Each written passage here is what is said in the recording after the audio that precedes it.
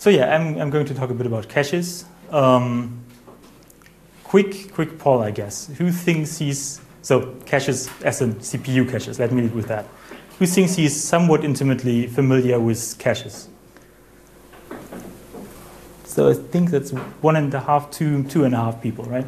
Um, okay, and then actually because we haven't really spoken about that, who feels like he's still more of a Rust beginner, just so I know.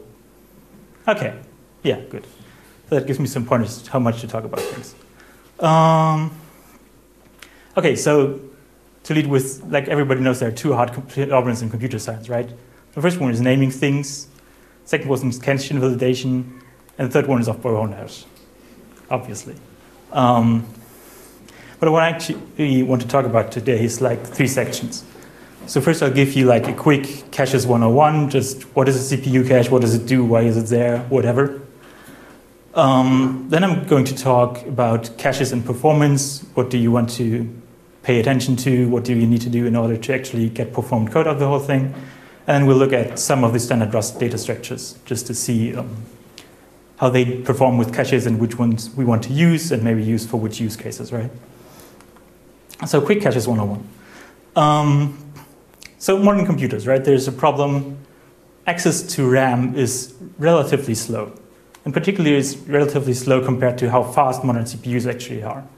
Like modern CPUs run at about four gigahertz and accessing like just one piece of data from the RAM is a lot slower than that. So a lot of the time, if we're just reading from random access memory, we're waiting for memory. We can't compute with that memory, right? So the solution that's been deployed since forever basically is we get caches in our CPU that store those this data in smaller memory that's a lot closer to the actual CPU core. Um, so we can access it faster and don't have to wait for RAM all the time. We still have to wait usually, but we can get to the data a lot faster, right? Um, usually caching is like done in two to three levels, so each level is further away from the core, and then the level closer to the core will read from the outer level. Um, some schematics pictures for that, just so you have seen it once. So usually have like cores, let's say a four-core processor in this case. There are registers in that cores, um, which are obviously the things that's fastest to access. You can usually read from them in a single cycle compute with them, do everything, or less than a cycle even, depending on what implementation you have. Um, and then you have the level one cache, the L1 cache, which is the closest to the core, which is there's one of them for each core. And actually, there's two of them for each core. Um, one for the instructions that you feed the CPU so that it can actually has an instruction stream, that it can run, and the other one for data. And that's the fastest cache that you have, right, closest to the CPU. Um, then there's an outer L2 cache, which is a bit bigger, which is significantly bigger already than the L1 cache. So you get more data in that, but it's a, a bit slower. So if data is already missing from your L1 cache, you might be lucky and it's still in your L2 cache and you get it from there instead of going back all the way to the RAM. And then again, one layer from that um, is your L3 cache, which usually, if it exists, doesn't always, but if it exists, usually spans all cores. So you have sort of shared caching between cores which is also kind of useful if you have threads that actually migrate between cores so they don't, after migration, have to access RAM so that they can read from L3 cache, right? Um, and then beyond that, you obviously have RAM itself, which is the slowest in this picture. After that, in theory, there's um, swap space, like if you have your RAM full and all that kind of stuff.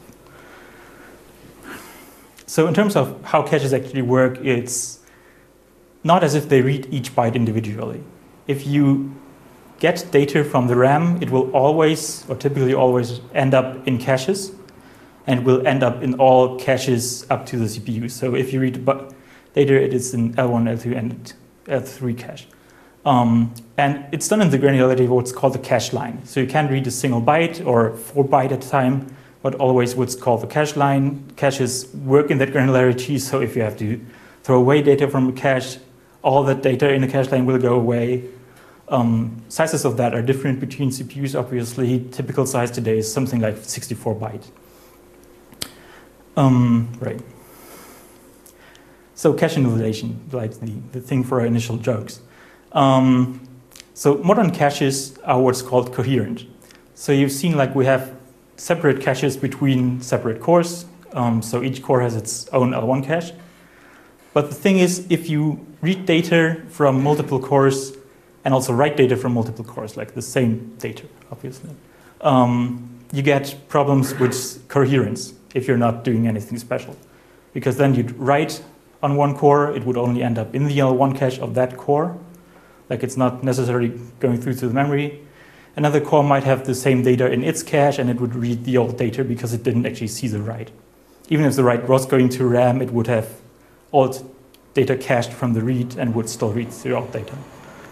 So what you have to do in order to get rid of that is um, implement some sort of what's called a cache coherency protocol and invalidate data that's in other cores, people's um, caches, right? So whoop, if anyone writes, it will have to invalidate that same data in everyone else's caches.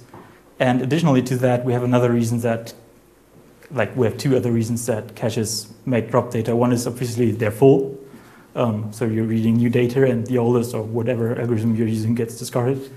But also, interestingly enough, modern caches, or at least on Intel systems, are usually inclusive.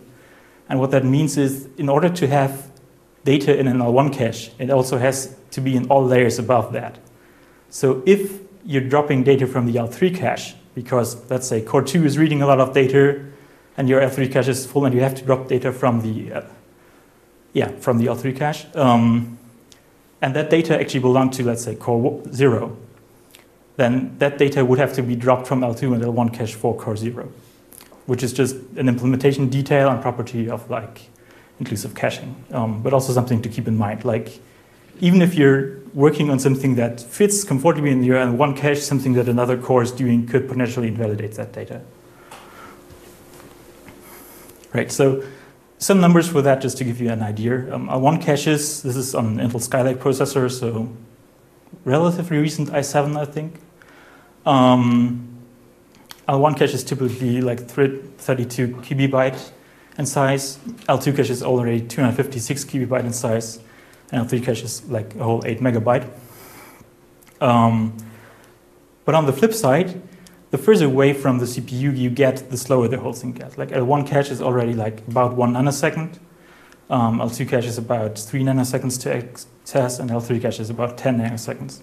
And once you get to RAM, it's a whole 16 nanoseconds, which might um, seem relatively little, let's say. Um, but this is based on like a core running at 4 gigahertz, which means that in that case, the, that L1 access actually took four ticks, right? Because like one gigahertz would be one tick per nanosecond, and then four ticks is like, yeah, um, one nanosecond for four gigahertz core. So in theory, like assuming you can dispatch one instruction per cycle or per tick, you'd actually, even if data is just in L1 cache, have to wait four ticks before you actually can do a computation. And like getting worse to the other side. Um, yeah, quick last thing in the like 101 section, there's prefetching. So if you're reading linearly to data, either forwards or backwards, um, data is not fetched just when you actually access the data, but the processor also recognizes that, hey, someone is iterating forward through data, let me already fetch things that he'll probably access in the future. So while you're still doing calculations and not necessarily thinking about accessing the data, the processor will already have gotten it into cache so that you can access it then, uh, which is kind of a useful property. Okay, so now we learned a few things about the whole thing. Um, what does that mean for our performance? And the way I've done that is I have like a few, let's say, typical examples. Some are a bit more esoteric than classical use cases, just to get something that you could actually measure. Um, so I think this is a super classical one for this one, like matrix multiplication. So um, like the usual way you do matrix multiplication is, let's say this. Um, so you have a function, you give it two slices. What I've done in this case is this are two-dimensional arrays, arrays. So the slice contains a set of arrays. Um, the arrays have all the all have the lengths of dimension, and the slices, which you can't see from this, but they also all have the lengths of dimension. That's the theory behind that. Um, so then the output is a vector. And what we're basically doing is we're allocating a new result vector for that, and then iterating in rows and cells over the whole result vector with indexes. Um, and then we have that variable k to do like your usual matrix multiplication. So um, if you don't remember, like matrix multiplication is um, multiply the row by the column and then add that up. And that's what that does, right? A is indexed by the column with the second index over k, and B is indexed by the row, so with the first index. Um, what that means is practice that it goes linearly through A, so each element in A is accessed linearly, one after the other. It goes through B with huge jumps, where huge means dimension elements, right? Because it goes through the columns instead of through the rows. So the second element in that case will be one whole line behind that in memory. So different approach to that. Um, store your data differently. So that's like the usually optimization you hear about. Make sure that matrices by which you multiply, which you might actually have like a fixed set of and you might use multiple times or stuff, don't store them in row major order, but store them in column major order so that in memory you have the elements of a column next to each other instead of the elements of row. So basically you transpose it once. Um, which, like the difference here in the, in the code is very, very minute. Like obviously it's just become the second index, which is k for b. Um, so this is again row by column, but assuming that b is transposed, right? And turns out this is actually a lot faster. Like this is about nine times faster on the Core i7 mentioned there, which is actually this laptop.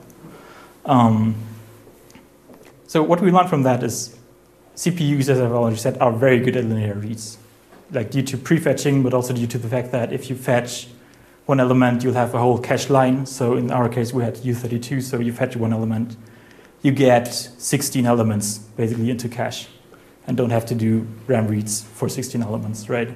And during those elements, you have the time to again do prefetching and fetch your next cache line and stuff like that.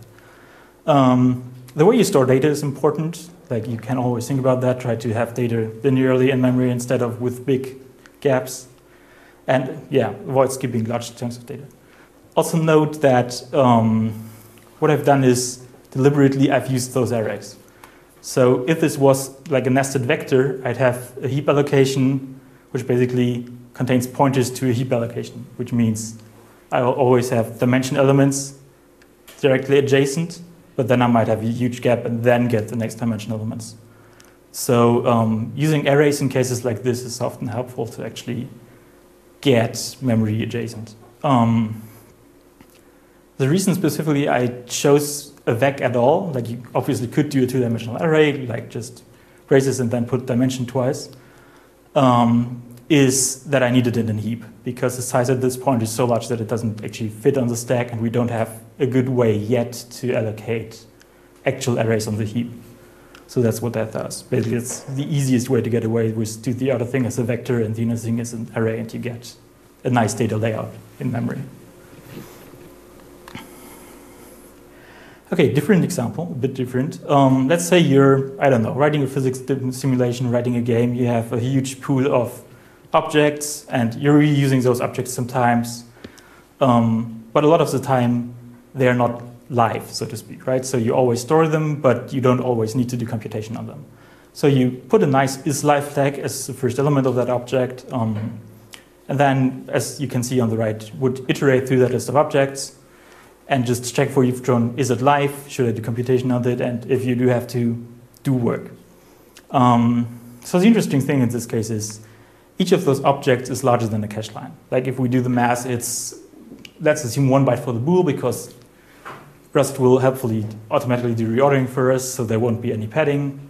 And then it's 8 bytes for the ID, it's 24 bytes for the string, like pointer, length, and capacity, each U64, um, or U size technically. And then 8 bytes for each of the F64. And I think that goes to be like 65 bytes or something like that. Um, so slightly larger, larger than a cache line on this particular system, but typically on many of them these days. So what we're doing is we're fetching like a cache line or maybe even two for the object and checking, let's assume the very first byte of it. And then we don't care about it anymore if it isn't live. And we do that like for each object. So basically, each object access, even if you're doing no computation on it at all, gives you a cache miss and you have to load a cache line. Um, so that's obviously bad. Um, as I said, data locality is important. Try not to skip large chunks of data in what you're reading, and the large chunk is basically everything after is live in this case. Um, so, but what do we do instead, right? So there are two things that you can typically do. One of them is have a separate vector just for that and like make sure the indexes line up. Um, that way you can iterate over the first vector, which tells you liveness or whatever other information you might need, right? Information you iterate over often, as opposed to some data that you just need rarely. Um, and then that will be cache efficient because everything is just one after the other and give you a nice speed up. The other way to do it is the conversion that is not too typical, I think, but seen relatively often in, in things like physics and high performance computing stuff which is basically turning an array of structure into a structure of array. So where you have now a vector of objects, you would have the object type, and for each field of the object type, you'd have a vector containing the elements.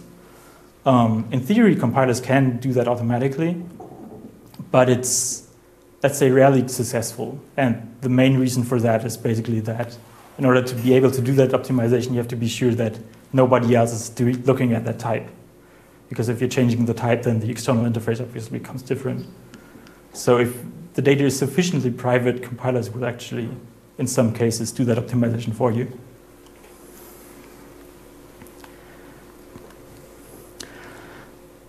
Um, I'll, I'll, just ask questions up to this point. Anything that I should talk about some more? Okay, so either everyone is dumbfounded or I'm doing a decent job. Um, okay, so this, this one I have not actually code example for, but just like as a general point. Um, code size matches. So if you have some hot code, like ideally your code would fit into your L1 instruction in that case, cache, so it would be about 32 kilobyte.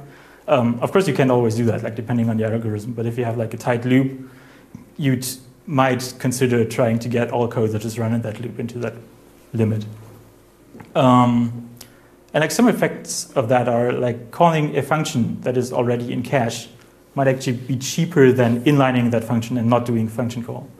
Like usually you'd say that um, inlining is like always cheaper or whatever because function calls are relatively expensive but, and everything. But in particular, if it's code that's being repeated, it might be nicer to actually outline that code into a function if that makes it fit into cache and you don't get a cache miss every time that code is running due to like large amounts of code overall. Um, so if that's what's happening to you, you can try to annotate functions with inline never if you think that gives you a speed up. Also interesting is that um, generic functions, you'll get for each type argument you put into the generic function a copy of the function. Um, so that also blows up the size of code that's actually being executed at a time. And you can try to get rid of that to some extent by passing a trait object. I don't know if that's a trait object, a reference to trait anyway. Um, never quite sure if we say trait objects just for box trait or also for reference trait. But basically passing something that just implements a trait as a reference um, and do it that way, which also won't give you the code duplication. But for all of this device, very obviously measure. Like if you're optimizing hot code and you don't, you never, as a rule of thumb, you never know what's actually your problem. You can try those things. You can try to see how big the code actually is. Um, and you can try some of this advice, but always measure, always try to make sure if that helps or if that doesn't help. And if it doesn't help, don't do it. like in particular, things like inline never on like very small function can also significantly make things worse. So that's something to look out for. Okay. Um, so this is this is a code that I was referring to before. That is like super synthetic. Um, that's nothing you will ever find like an actual code, but it's something that really nicely shows the phenomenon. Um, so what I'm doing here is basically I have a function that will increment elements of an array. Um, so I have this array X up there, which is like into an atomic reference counted into the atomic reference counting type, so it can be shared among threads. And within that, I have 16 atomic U sizes. So atomic U size in this case, just for reference, is 8 byte because this is a 64-bit system. Um, and then what I'm doing is I'm getting another reference to, so a reference count to the X array and passing it into this new thread. And within the thread, 100 million, I think, right? Yeah, 100 million times incrementing an element. Um, and outside the thread, so my own thread, I'm also 100 million times incrementing another element. Um, the particular elements which I'm incrementing are like passed to the function as i and j, right? So sufficiently clear to everyone what that function actually does? Nod or shake your head.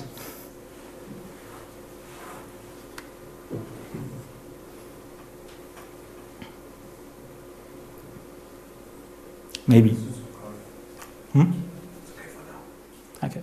Um, so basically, like increment two different elements of an array a lot, right? Um, it turns out, like incrementing adjacent elements in that array is a lot slower than incrementing elements that are in this cases seven, eight, eight apart, right? Um, so like any any any takers for why that might be happening? Any ideas? Can really have to invalidate the cache line if one thread? Uh... Yeah, so the, the, the, answer was maybe yes to invalidate the cache line. Um, yeah, precisely. Like that's that's actually the problem. Um, so what's happening here is that if we're having exactly adjacent elements, we're both writing on the same cache line, right? So one thread is writing to the first 8 byte of the cache line, the other thread is writing to the next 8 byte of the cache line. And as we said before, if writes to a cache line happen on a different core, then you'll have to invalidate on it on all the other cores. So basically, for each add in which an add from the other core came in between, right? Um, the cache line has to be refetched by the core. Um, so this is a phenomenon that's known as false sharing. Um, so basically, the necessity for this is just like one thread reads memory, the other thread writes near it, so it, that it invalidates the cache line in the thread that's reading. Um, so typically, this occurs if values are on the same cache line, obviously, because otherwise you won't have this false sharing. Like it will be different cache lines, and each one can really add independently on their own cache line. Um, access needs to be by different cores. Access needs to be somewhat frequent, let's say, because only only then will it actually make a difference. So if, if cache is invalidated anyway between your writes, like by something else, but just using data, um, this won't matter, right? But if it's somewhat frequent and you actually invalidate it while someone else will have wanted to access it, that's a problem. Um, and there has obviously to be at least one writer because if there are only reads, no cache line will ever be invalidated. I think this code actually might want to run just to show something. Um, so, oh great.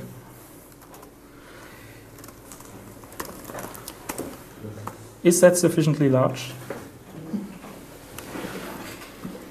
Um, so this is just basically the, the function I've had on the slide, right? So increment stuff 100 million times. Um, and then down here, think I'll say some quick words about that. Um, is basically how I benchmark that. So first thing, I actually run the function once without um, without measuring anything. And the reason you'd want to do that if you're measuring anything related to cache is that Otherwise, it usually um, like messes up. Like you'll get cases where you're measuring two, in theory, different things. Um, and notice that the second one is always faster, even though maybe you even expected it to be slower. And in that case, usually the effect is that your cache is now warm, right? The first time it ran, everything was loaded into cache. The second time it ran, um, everything was already in cache, so it was a lot faster. And that also applies to different code, of course. So if you're doing another algorithm entirely, but on the same data, um, the second algorithm will always get positive effects from the first one running because that loaded data into cache.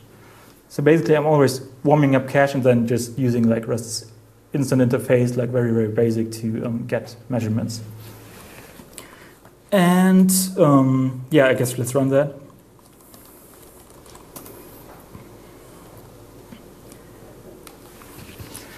So it takes a while, but actually not too long, I hope. Maybe I need power if it does.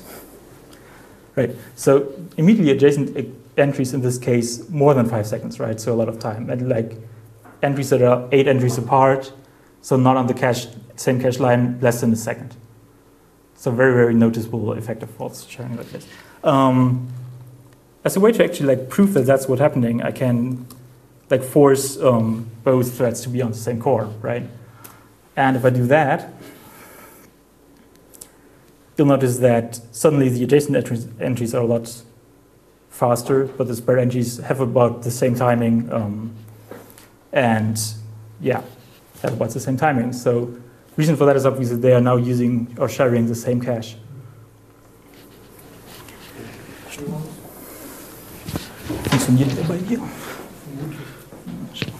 Thanks. Um, okay, so let's get power real quick. So I do actually have a different example for, for false sharing, um, and it's a lot more real world. Problem is, it's not actually like I'm measuring the wrong thing, and I'll show you real quick. Um, so let's say source main. So this one is is um, a different example, and actually, like credit for this one goes to um, oh, I forget the name. like the basic thing you want to do is you want to count the number of odd elements in, in a matrix again, right? Um, and we'll do this threaded.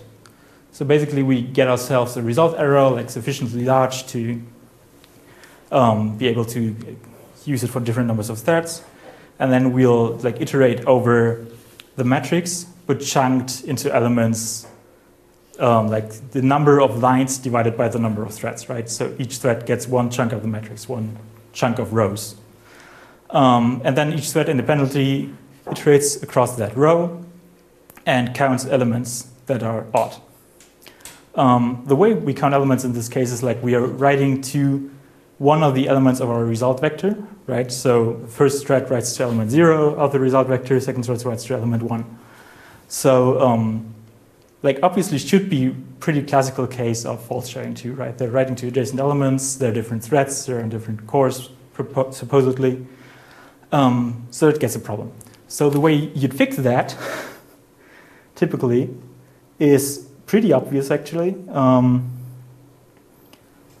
uh, can I get them both on one screen? Well, sort of. Um, whoop, sorry. So where you fix that is you introduce a local variable, right? So within the thread, you just have your own local variable, count on that. It's not in the array, not on the same cache line, not anything. Um, and increment that, and just at the very end, write to the result vector once problem with this code is, as I said, it doesn't actually measure the right thing because turns out, and I've not sufficiently looked at the assembly, but turns out even with a single thread where this should not matter at all, like the whole false sharing thing, um, the one with the local variable is significantly faster. And like my guesstimate of why this one is always significantly faster is just that um, the variant without the local variable will always access memory, like always writes to the vector. But the one with the local variable can increment that variable in a register. So you're never like accessing memory at all, not even L1 cache, not anything, right? So um, yeah, I think that's like it's it's bad that it doesn't show false sharing, like bad for me. Um, I think it's an interesting lesson because what that shows is best thing to do about caching and accessing memory is don't access memory. Like if you can do it in a single register for some time, then just access memory once when you actually really, really badly need to, do that. Have a small local variable, do it like that. Um, also interesting, I think. Okay, any, any questions about that actually? Does your laptop uh, charge because the light is still on? I think uh, it claims to. It actually claims to. The light on the backside is still on. Yeah, I'm, I'm not sure if it doesn't. Uh, let me see. probably not. But like I, I'll make do with 10 minutes or whatever I have. I, I hope. Um, any non-charging related questions? okay, so um, I thought I'd just do a quick quick random of like typical Rust data structures, like not a lot of them, a few of them. Um, so vector, vector is obviously like from a cache point of view amazing, because vector is like one contiguous data structure in heap memory, no gaps, no nothing. You can iterate through it pretty fast. As I said, linear reads are what CPUs are graded at. If you want to read through that forwards or backwards, you're good from a cache perspective. That's nice. Um, and turns out they're so good for caches that they often outperform other data structures. That's a discipline that those other data structures are specifically designed for, at least up to a certain number of elements. Um, just because cache often like trumps everything. Like if the other data structure for some reason has to use separate nodes that are apart in memory and just not very um, very sparse, eh, very very tight together. Um, you'll you'll get negative effects from that, and everything being L1 cache as it usually is for elements and vectors, it's just it's just nice for that. Um, so linked lists. Linked lists is almost only in here because if that talk was done in another language, someone would tell you about linked lists. Because show, show of hands, who has ever used linked list in Rust? Right. Um, and it turns out I've never seen anyone use linked list in Rust actually, but it exists. It's in the standard library, right? Has has always been STD collections linked list. Um, it's there. So linked lists are not so great for caches, and that's usually why they're like the, the example of don't do this. Um, linked lists have one heap allocation per node, like you have those separate nodes per element, right? And they have one pointer to the previous element, one pointer to the next element, and the actual data. Each of them is a separate heap allocation. And those heap allocations are not necessarily like contiguous. Like unless you're allocating them like in terms of time close to each other, they're very likely to be spread apart across your heap, right? And even if that's not the case, the heap will usually like look for bins that are pretty close to the size you're actually allocating. So they might still be spread even if you're allocating them just back to back.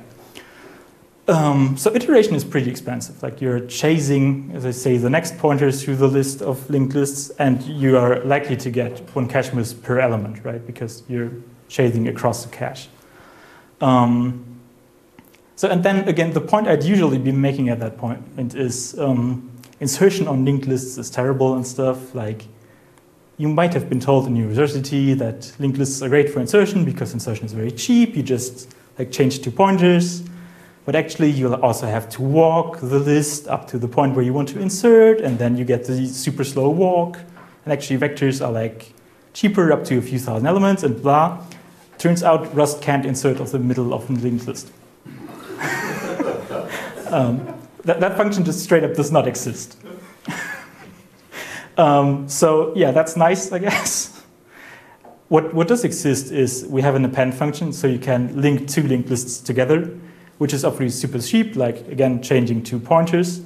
But you actually, because we have a pointer to the very back of the list, you don't have to run across it or anything. So that's like legitimately cheap and legitimately a lot cheaper than chaining together two vectors, right?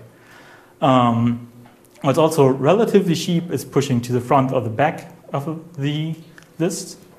Um, and particularly to the back, it's again very, very likely to be slower than pushing to the back of a vector because for the list you'll have to do the heap allocation for the new node. For the vector, you probably already have the heap allocation for that element because vectors like have a capacity separate to their length and that grows in powers of two. So you only really rarely actually reallocate memory for vectors.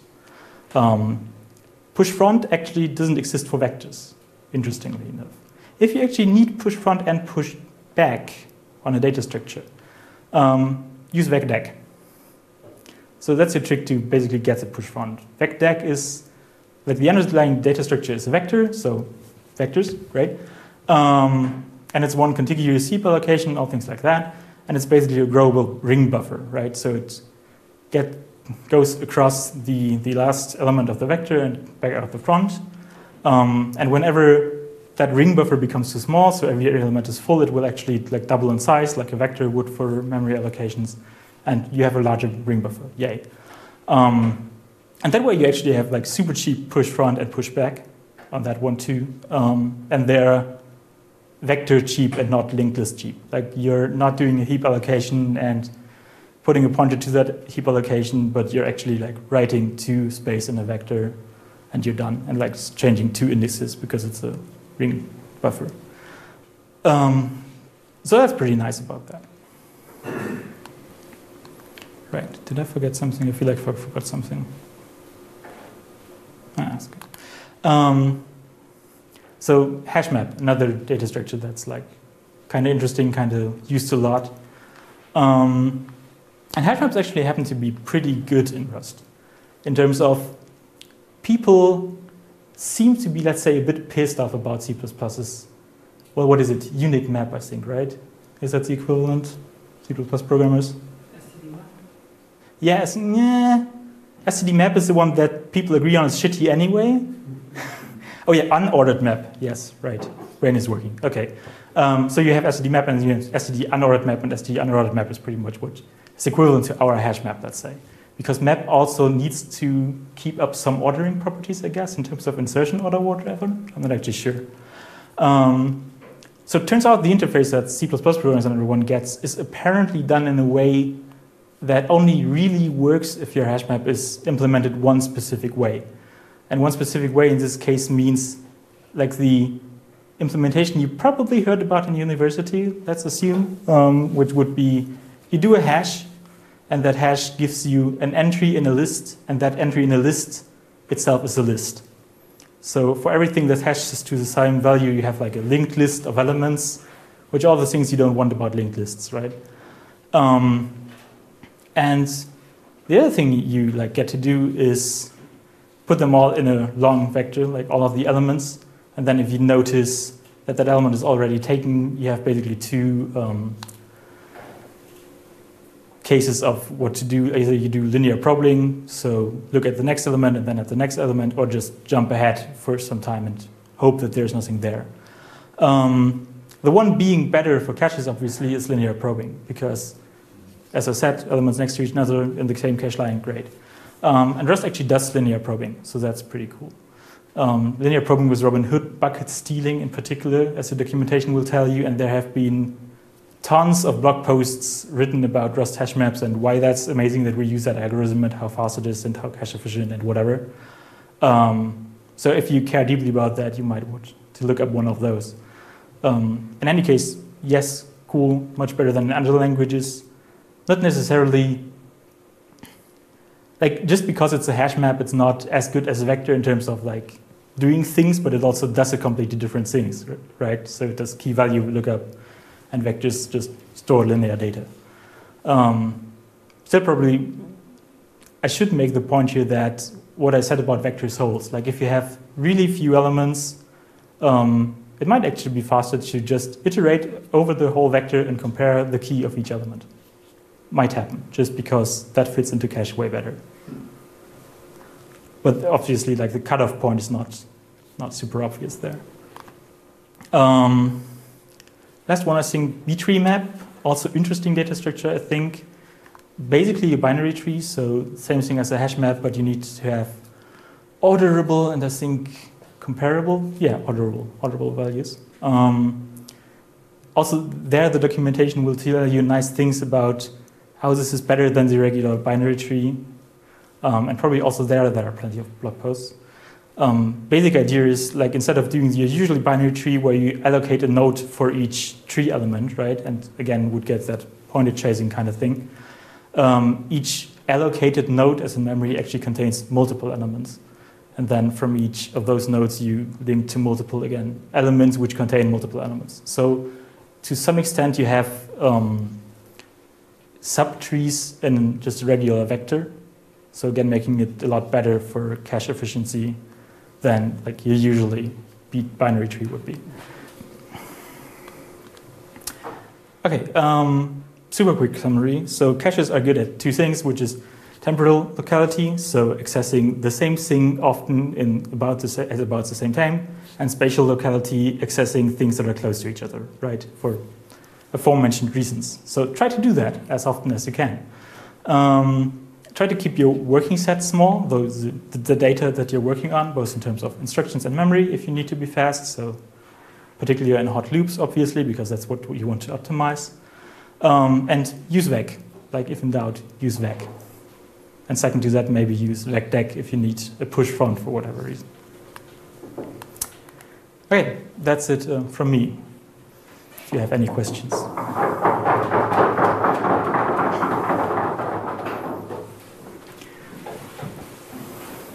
Questions? Yes.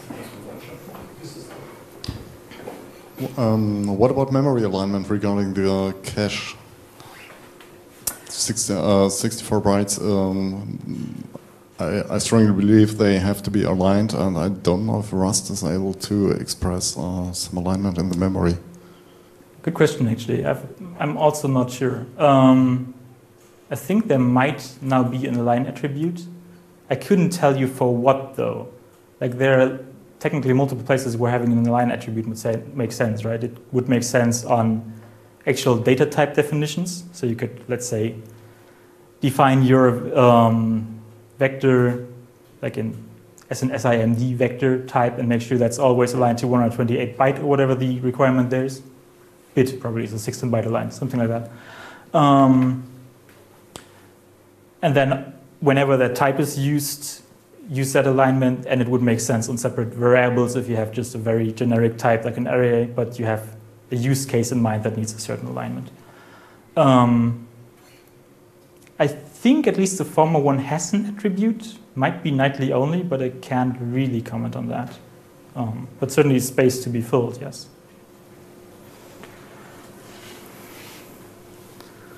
Any other questions? Yeah.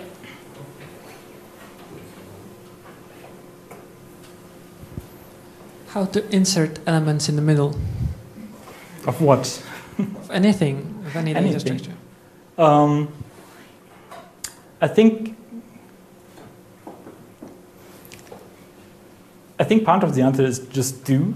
Um, like coming coming back to the point of when the where we usually would talk about insertion in linked lists, right, is as I said, they are not as good as you think you are anyway because you have to walk the linked list, but also they are surprisingly inefficient compared to vectors. Like things CPUs are also apparently very good at, and not surprisingly, seeing how vector instructions and everything are available nowadays is shifting data around. So I haven't done the benchmark myself, and I have forgotten the actual numbers, but people compared like linked lists and inserting in the middle to inserting in the middle of a vector which obviously needs you to copy the whole bunch of trailing memory over, right? Um, and it was surprisingly late that linked lists were actually faster.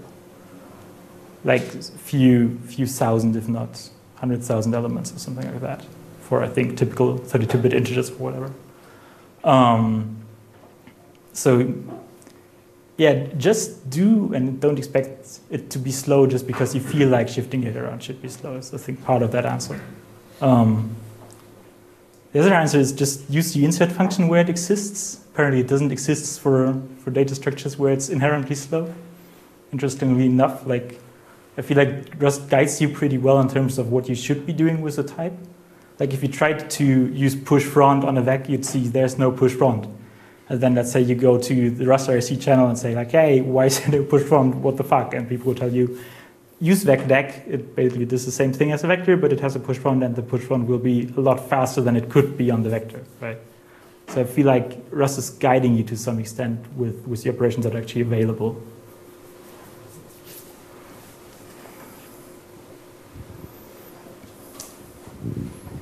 Are there any good um, performance measurement tools for Rust like vtune for C++?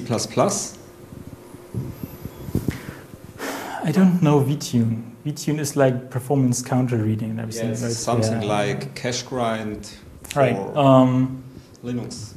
Honest answer, I don't know. Like, really, really white answer is the same that work for C++ often work for Rust like particularly in like the Linux space and open source space, if it reads dwarf debug info, there's no inherent reason that it wouldn't work as well for C++ as it does for Rust. Um, like you should be able to get the sample counts for performance counter matched up to an address anyway, like that's what they do, and that matching that address based on dwarf infos to source line is this, the same thing for C++ and Rust. So in theory, cachegrind and all those stuff work just as well.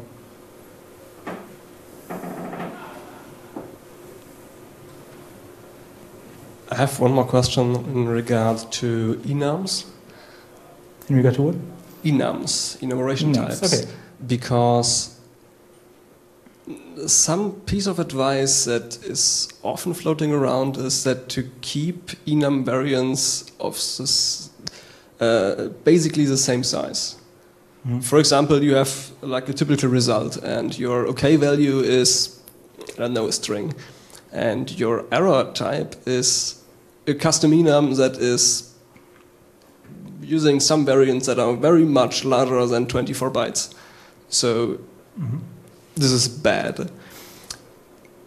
Do you have some kind of advice in that regard, or some experience in uh, at which point it's better to use uh, like a heap allocation and box type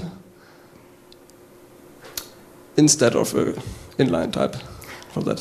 I think in general, that would depend on your use case, like the, the point at which that makes sense to do, right? Um, but I think the observation is sound. Like you're obviously wasting, like wasting a lot of potential cache space if you have large variants in the enum, which may not matter. Those are the variants that you use often.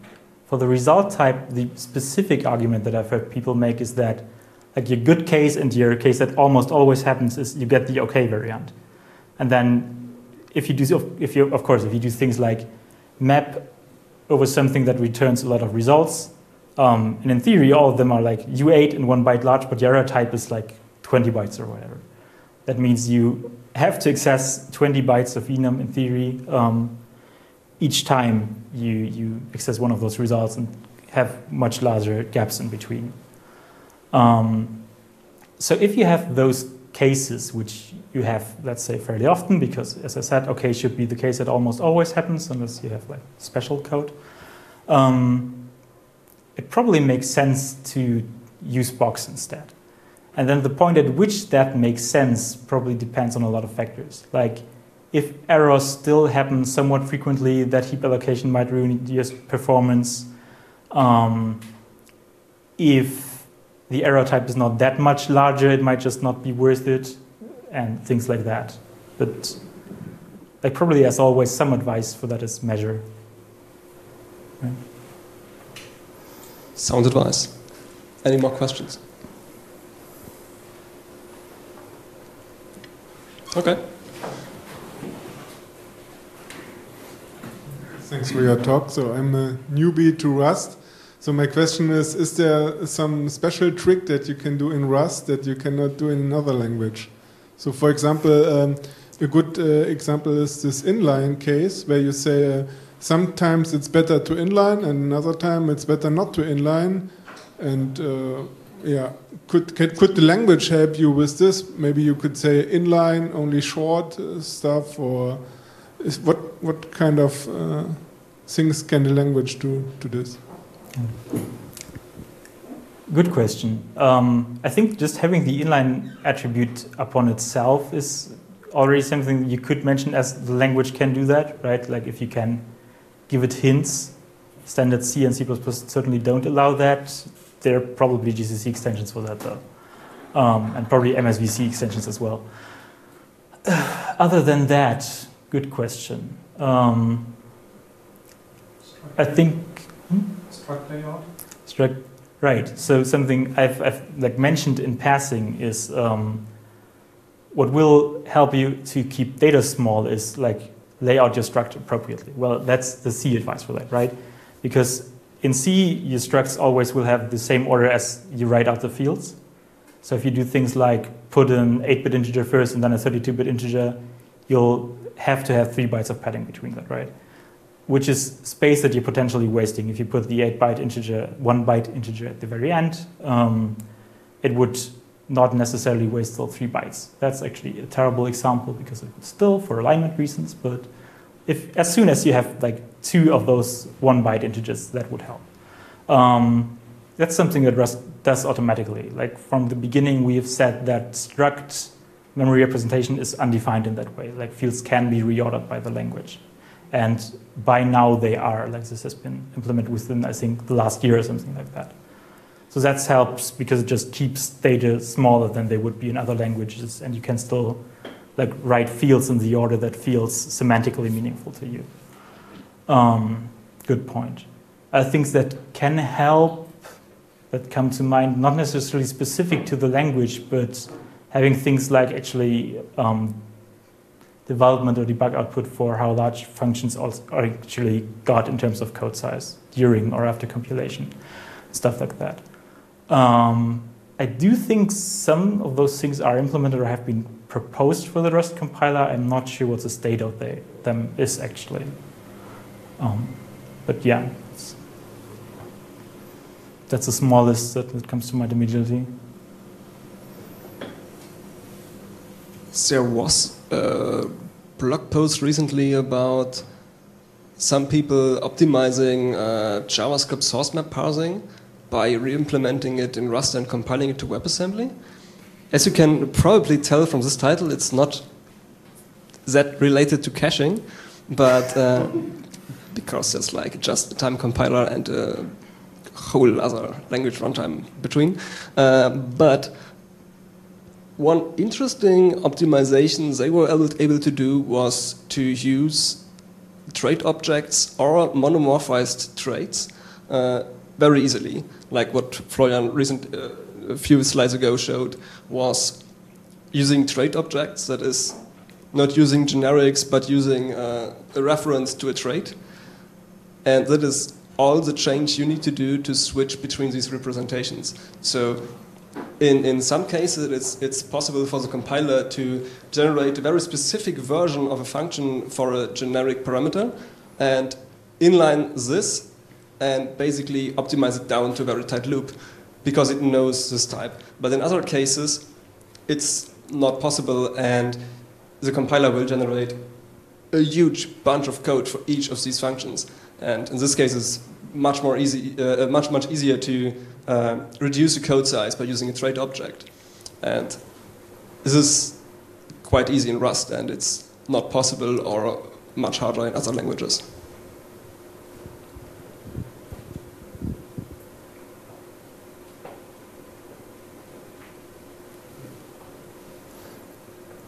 Okay. Yeah, thanks for the attention, I guess.